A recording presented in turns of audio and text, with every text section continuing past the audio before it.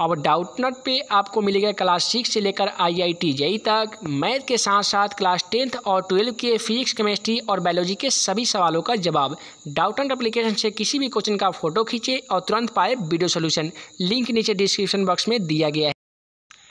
Hello दोस्तों, एक बार फिर से बहुत बहुत स्वागत करता हूँ आप सभी का। Math and magic tips YouTube channel में। दोस्तों, जैसा कि आप सभी को मालूम होगा कि एक विज्ञान का मॉडल सेट का हम पहले वीडियो अपलोड किए थे, जिसमें एक से लेकर बीस तक का वी वी ऑब्जेक्टिव क्वेश्चन का सोल्यूशन आप सभी स्टूडेंट देख चुके हैं। तो इस वीडियो में हम देखने वाले हैं इक्कीस से लेकर चालीस तक का साइंस का वी वी ऑब्जेक्टिव क्वेश्चन का सोल्यूशन जो आपके मेट्रिक एग्ज़ाम के लिए काफ़ी इंपॉर्टेंट है। तो जो भी स्टूडेंट इस बार मेट्रिक का एग्ज़ाम देने वाले हैं तो वीडियो को लास्ट देखिएगा। इसमें जितने भी क्वेश्चन लिए गए हैं आपके मेट्रिक एग्ज़ाम में बहुत बार पूछे जा चुके हैं। और आपके भी एग्ज़ाम में पूछे जा सकते हैं। तो चलिए दोस्तों, बिना समय वीडियो को शुरू करते हैं। तो दोस्तों क्वेश्चन नंबर बीस का क्या सही जवाब होगा? अब जल्दी से वीडियो के कमेंट बॉक्स में लिखिएगा। क्वेश्चन नंबर बीस कह रहा है कि कौन सी धातु जल के साथ अभिक्रिया करती है? तो पहला आपसे मिला है सोना लेड सिल्वर और डी में पोटेशियम तो आपसे बता दें क्वेश्चन नंबर बीस का क्या सही जवाब होगा? आप जल्दी से वीडियो के नीचे चले जाइए और कमेंट बॉक्स में इसका आंसर लिख सकते हैं। उसके बाद में सभी क्वेश्चन का बारी बारी से मैं आप सभी को आंसर बतला रहा हूँ कि एन ए सी एल का क्वथनांक ना क्या होता है। तो एन ए सी एल का क्वथनांक क्या होता है तो आपसे बता दें एन ए सी एल एक सोडियम क्लोराइड है और सोडियम क्लोराइड किसका सामान्य सूत्र है तो आपसे बता दें, ये साधारण नमक का रासायनिक सूत्र है, ठीक है? सोडियम क्लोराइड तो क्वेश्चन नंबर इक्कीस के लिए आपको मैट्रिक में भी चार ऑप्शन मिलेंगे जैसे यहाँ पे मिल रहे हैं। तो आपसे बता दें क्वथनांक की बात करें तो इसका सोलह सौ छियासी के बिल्कुल राइट आंसर हो जाएगा। उसके बाद में अगला क्वेश्चन है, क्वेश्चन नंबर बाईस की कार्बन क्या है? तो कार्बन क्या है? पहला ऑप्शन धातु अधातु उपधातु और डी में, इनमें से कोई नहीं तो आपसे बता दें। क्वेश्चन नंबर बाईस का बाईस का राइट आंसर आपका ऑप्शन बी हो जाएगा, यानी कार्बन क्या है? यह एक अधातु है। उसके बाद में क्वेश्चन नंबर तेईस को देख लीजिए। क्वेश्चन नंबर तेईस जो आपकी मेट्रिक एग्ज़ाम के लिए काफ़ी इंपॉर्टेंट है कि हेक्सेन का रासायनिक सूत्र क्या होता है? तो आपको मैं रासायनिक आपको पढ़ाऊँगा कार्बनिक कार्बनिक रसायन का जो चैप्टर है, वो मैं आप सभी को बारीकी से मैं समझाऊँगा कि हेक्सेन प्रोपेन न्यूटेन ब्यूटेन ये सब क्या होते हैं। तो यहाँ पे हेक्सेन की बात करें तो हेक्सेन का जो रासायनिक सूत्र होते हैं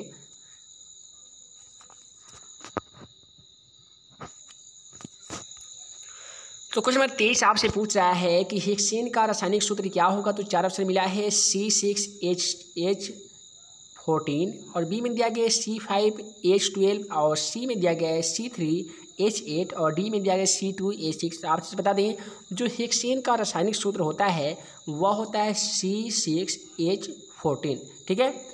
तो अगला क्वेश्चन है हमारा क्वेश्चन नंबर चौबीस, की निम्नलिखित में कौन सह संयोजी यौगिक है? यहाँ पे चार यौगिक का नाम दिया गया है। इसमें आपको बतलाना है कि कौन ऐसा यौगिक है जो सह संयोजी है। तो आपसे बता दें क्वेश्चन नंबर जो चौबीस का राइट आंसर आपका ऑप्शन ए हो जाएगा यानी सी एच फोर जिसको हम मीथेन भी बोलते हैं। तो आपको बोला जाएगा कि सी एच फोर को क्या बोलते हैं? तो मीथेन ये भी आपको याद कर ही लेना होगा।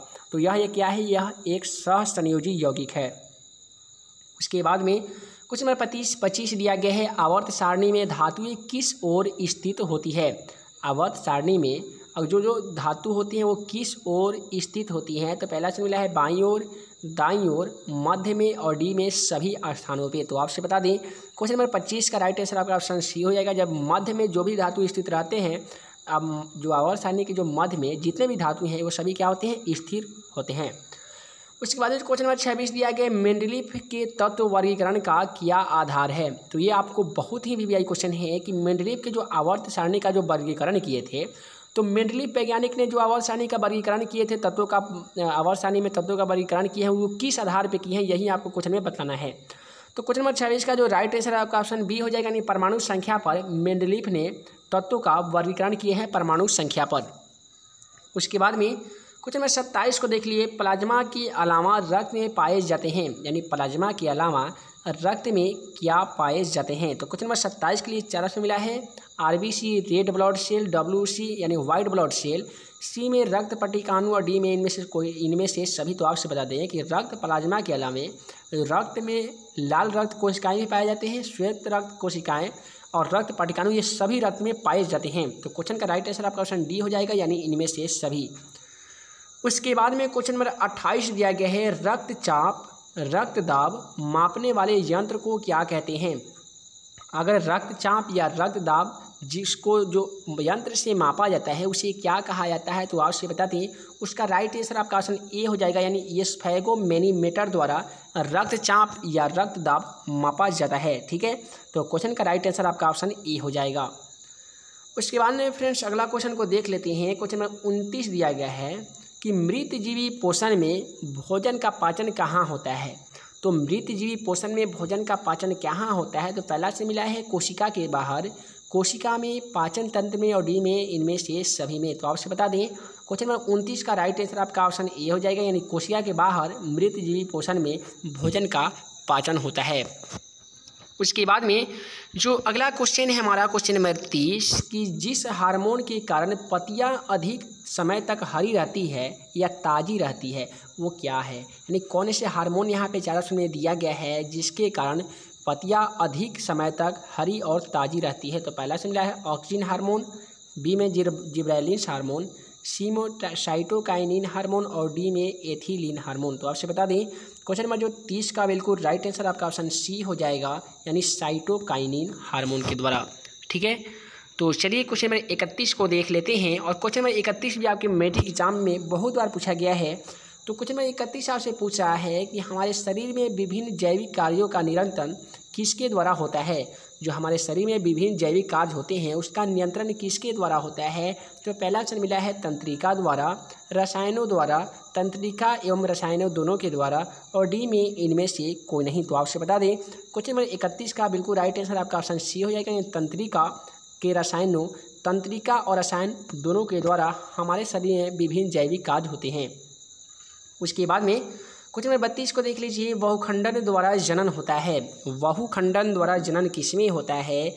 तो पहला ऑप्शन मिला है ईस्ट में, बी में प्लाज्मोडियम में, सी में दिया गया लिस्वानिया में, और डी में इनमें से कोई नहीं। तो आपसे बता दें, क्वेश्चन नंबर बत्तीस का भी राइट आंसर आपका प्लाज्मोडियम हो जाएगा। ये मैट्रिक 2019 में भी ऑब्जेक्टिव में क्वेश्चन पूछा गया था कि बहुखंडन द्वारा जनन किसमें होता है। तो आपको याद रखना होगा, प्लाज्मोडियम में बहुखंडन द्वारा जनन होता है। ठीक है? तो चलिए फ्रेंड्स, अगला क्वेश्चन को देख लेते हैं। क्वेश्चन नंबर तैंतीस दिया गया है कि निम्नलिखित जीवों में किसमें अधिक आलैंगिक जनन होता है और मुकुलन द्वारा होता है? यहाँ पर निम्नलिखित जीवों में किसमें अलैंगिक जनन मुकुलन विधि के द्वारा होता है? तो पहला से मिला है लेस्मानिया में, बी में प्लाज्मोडियम में, सी में ईस्ट और डी में अमीबा में। तो आपसे बता दें जो क्वेश्चन नंबर तैंतीस का बिल्कुल राइट आंसर होगा, आपका ऑप्शन सी हो जाएगा। यानी अलैंगिक जनन मुकुलन द्वारा जो होता है, वो ईस्ट में होता है, ठीक है? तो ये आपका जनन चैप्टर से क्वेश्चन लिया गया है और काफ़ी इंपॉर्टेंट क्वेश्चन है। उसके बाद में क्वेश्चन नंबर चौंतीस आप देख पा रहे होंगे कि घोंघा किस समुदाय का प्राणी है। ये आपको नाइन्थ क्लास से क्वेश्चन लिया गया है, घोंघा किस समुदाय का प्राणी है। तो पहला से मिला है मोलस्का बी में दिया गया है इकाई नोडर माटा और सी में प्रोका, प्रोकार्डेटा और डी में एनीलीडा। तो आपसे बता दें, क्वेश्चन नंबर चौंतीस का बिल्कुल राइट आंसर आपका मोलास्का हो जाएगा, क्योंकि मोलास्का में घोंघा आते हैं, ठीक है? और इन, अगर वहीं पे अगर आर्थवार्म की बात करें, जो चैती होते हैं, सांप होते हैं, बिच्छू होते हैं, मेढक होते हैं सभी क्या होते हैं? एनिलीडा वर्ग के होते हैं सॉरी रिप्टिलिया वर्ग के होते हैं। और जो मेढक टोड होते हैं, एनिलीडा वर्ग के होते हैं तो हालाँकि ये सब नहीं पूछा जाएगा, लेकिन घोंघा किस समुदाय का प्राणी है, ये पूछा जा सकता है तो ये आपको लिखेगा मोलस्का का। उसके बाद में, जो क्वेश्चन पैंतीस दिया गया है मेंडल के प्रयोग में टी क्या दर्शाता है? यानी टी क्या दर्शाता है? बौना पौधा या प्रभावी लक्षण या अप्रभावी लक्षण। तो क्वेश्चन नंबर पैंतीस के लिए चार ऑप्शन आप सभी के लिए बोर्ड स्क्रीन पे मौजूद हैं और आपसे बता दें कि मेंटल ने मटर के जो पौधे से एफ़ वन और एफ़ टू या टी वन या टी टू भी आप कह सकते हैं या छोटा टी या आप बड़ा टी कह सकते हैं। ये दो पीढ़ी को जब दो पौधों के संकरण करा के उन्हें एफ़ वन और एफ़ टू पीढ़ी विकसित किया था तो उसे क्या उसने क्या दर्शाया? तो पहला आपसे मिला है प्रभावी लक्षण, बौनापन, अप्रभावी लक्षण। तो आपसे बता दें कि मेंडल वैज्ञानिक ने जो मोटर पौधे का प्रयोग किया था, उसे बी और सी बिल्कुल राइट ऐसा मिलता है। बी में बौनापन हुआ और अप्रभावी लक्षण उससे दर्शाया गया, ठीक है? तो चलिए अगला क्वेश्चन को देख लेते हैं। क्वेश्चन नंबर छत्तीस दिया गया, मेंडल ने अपने अनुवंशिकी प्रयोग हेतु किस पौधे का उपयोग किया था? तो अभी मैं इसी का बात कर रहा था। कि मेंडल ने अपने अनुवंशिकी प्रयोग हेतु तो किस पौधे का उपयोग किया था? तो पहला ऑप्शन मिला है गुलाब, बी में गुलदाउदी, सी में सी में दिया गया साधारण मटक और डी में नीम। तो अभी आप सभी को मैं इसका आंसर बता भी दिया हूँ कि मेंडल वैज्ञानिक ने अपने अनुवंशिकी प्रयोग के लिए साधारण मटर का पौधा का उपयोग किए थे। ठीक है? तो जो अगला क्वेश्चन है क्वेश्चन नंबर सैंतीस कि कौन से पदार्थ का अपघटन पर्यावरण में नहीं हो सकता है? कौन सा पदार्थ है जिसका अपघटन पर्यावरण में नहीं हो सकता है? तो पहला ऑप्शन मिला है, प्लास्टिक, सूखे पत्ते, मृत जीव और डी में भोजन। तो आपसे बता दें, क्वेश्चन नंबर जो सैंतीस का राइट आंसर होगा हमारा, वह होगा आपका ऑप्शन ए, यानी प्लास्टिक। ठीक है? तो चलिए क्वेश्चन नंबर अड़तीस को देख लेते हैं कि ओजोन परत पाई जाती है। ओजोन परत कहाँ पाई जाती है?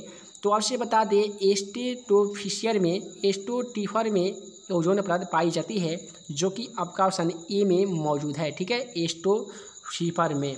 उसके बाद में जो अगला क्वेश्चन है हमारा क्वेश्चन नंबर उनचालीस, कि भौम जल क्या है, ठीक है? भौम जल क्या है? तो चार ऑप्शन मिल दिया जा चुका है, और आपसे बता दें, भौम जल एक, आपका ऑप्शन सी में मौजूद है, भू सतह के नीचे चट्टानों और मिट्टी के रंध्रों में पाए जाने वाला जल है, जिसे हम भौम जल कहते हैं। उसके बाद में वीडियो का लास्ट क्वेश्चन क्वेश्चन नंबर चालीस दिया गया है कि जैव विविधता में विशिष्ट स्थल हैं। जैव विविधता में विशिष्ट स्थल क्या है? तो पहला ऑप्शन मिला समुद्र, शहर, गाँव और डी में वन तो आपसे बता दें। क्वेश्चन का राइट आंसर आपका वन हो जाएगा। तो दोस्तों, इस प्रकार से हम लोग इस वीडियो में पूरे मॉडल सेट का खात्मा कर चुके हैं, जो आपके मेट्रिक एग्ज़ाम के लिए काफ़ी इंपॉर्टेंट है। तो उम्मीद करता हूँ कि आपको वीडियो पसंद आएगा। पसंद आएगा तो वीडियो को लाइक कीजिए और साथ ही साथ अपने दोस्तों में व्हाट्सअप ग्रुप में शेयर कीजिए और जो भी स्टूडेंट चैनल पर नए हैं तो चैनल को सब्सक्राइब कर लीजिए ताकि प्रत्येक दिन की आने वाली वीडियो आपसे ना छूटे और आपकी तैयारी मैट्रिक में बहुत ही अच्छी तरीके से हो सके। जो भी स्टूडेंट चाहते हैं कि प्रत्येक दिन उनका सभी विषय का लाइव टेस्ट हो तो डिस्क्रिप्शन बॉक्स में हमारे नए चैनल का लिंक दिया जा चुका है। वहाँ पर जाकर उस चैनल को सब्सक्राइब कर लीजिए। वहाँ पर मैं प्रत्येक विषय का लाइव टेस्ट प्रत्येक दिन ले रहा हूँ। तो दोस्तों, मैं मुख्यमंत्री जल्द मिलूँगा अगले वीडियो में नए वी क्वेश्चन के साथ। तब तक के लिए वीडियो देखने के लिए बहुत बहुत धन्यवाद।